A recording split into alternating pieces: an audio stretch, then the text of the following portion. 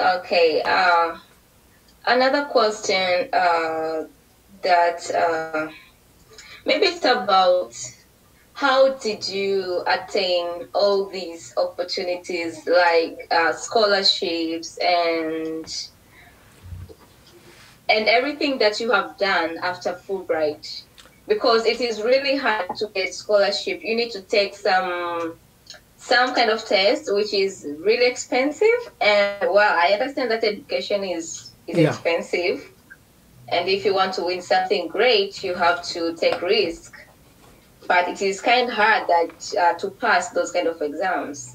How was the preparation?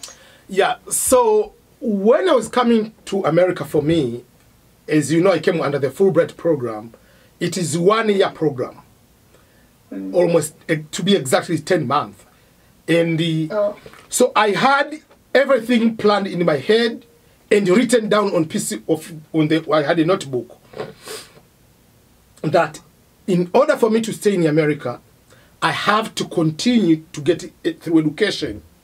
So in order to get education, obviously the TOEFL exam was already paid by the U.S. Embassy. I paid for they've done that one. Then I know I have to do the GRE, and then I have to apply for universities. In order to apply for the universities, each university will cost a certain amount of money for application fee.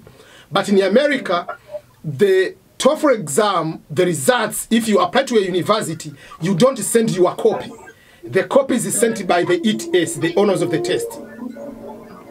And then, at the same time, I don't know, is yeah. I don't know, it's something background noise. Okay. So at the same time, uh, on my end, uh, I knew uh, I have to pay extra money, $17 for every copy of the TOEFL exam to be sent to the universities. And then for GRE, you have to send, you have to pay $27 extra for each copy to be sent. And I knew in order to do that, I have to apply Benin universities. So for me, I didn't save the money so that I can go back to Tanzania and have apartment. I used all my money I was saving to apply for the universities. So I applied to 25 universities. And that's why that's how I managed to uh, to get the uh, to get my to get a scholarship. That's number one. Uh, so in the end, even if I applied 25, I got three full scholarships. One in Europe, two in the US. So I moved from West Virginia to California to do my masters. So when I was when I went to do my masters, uh, already now is the game is changing. Uh, what is the next step? For me, I came here. I say "Oh, you take me from here. You put me in the grave. You are not taking me here. You are taking back me to go and live back to Tanzania. My plan was I'm coming here. God said, go to the world, multiply, conquer the world, fulfill the world.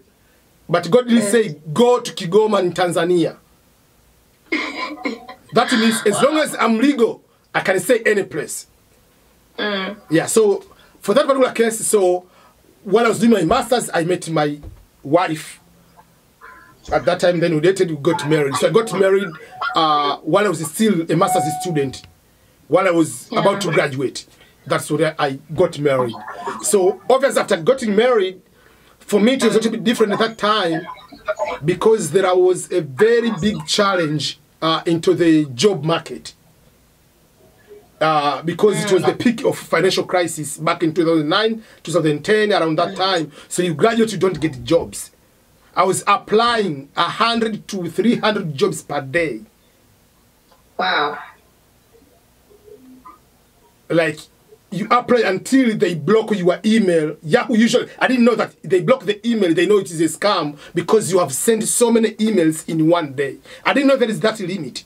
So I had to create different emails to apply. Hmm. Yeah, I didn't know that. I, I came to know by applying. So that is another way on how I was able to do that. And life in California was very expensive. One bedroom, we're talking about 1,500 or 1,300 maybe. That's one bedroom apartment in California. Wow. And then at that time, remember, I have a wife and she's pregnant. Wow. See, another complication comes there. Then we talk about the culture. My in-laws said, "Can you come and stay in our house for free while you are still looking to get settled?" Which is in a normal, reasonable way. That is a good thing. Then you come as African. How can an African man go and live with in-laws? Like your ego comes there, your African culture comes here. Another complication. got it as a weak person. Yes, but in the end, do you are you? I mean, the life is kicking you. Are you going to be homeless? You have to accept the, the help. Um, so you have to get the help. I have to go and stay with my in-laws. So I was applying for so many jobs. I have to find everything. So I thought I can get out there. So for me, the game change happened when I made a decision to join the Navy.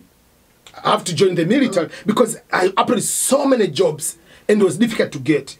So and I started learning what are the benefits of joining the military. Like, okay, if you join the military, you can be able to become a US citizen right away. You can be able to uh, get any job after that, whatever, quick. You'll be able to get VA home loan. You have to do everything. So I had to lose weight, but I do everything they want. I managed to succeed, and that is when I I was able to join. So from that decision, all those things I went through, it helped me to do anything from there quicker. And whatever I want to do, as long as I know the steps and the, I know the resources, I can go and struggle and fight whatever it is until I was able to attain it. Yeah, uh, that, that is a very good thing, and uh, actually, I'm learning because most of people and youth in Africa, we we think that life in America is really easy. Opportunities are there, just waiting for you. Life is good. There are a lot of leisure. The thing which is totally different, because when you come here, you have to work hard. you really have to work hard. There is nothing easy and there are no shortcuts because everything is on the like on the line there are rules that guides people Exactly. you see and it's totally different totally different just like even now let's say now we say okay i'm already relaxed in my life i work as a full-time Mhm. director of africa one organization. I do mm-hmm. youtube. By doing youtube mm. it means i'm mm. making almost mm. 50 videos per month. Which is a lot of videos at least two videos per day. Yeah. Wow. then i'm writing books. Then i have three kids.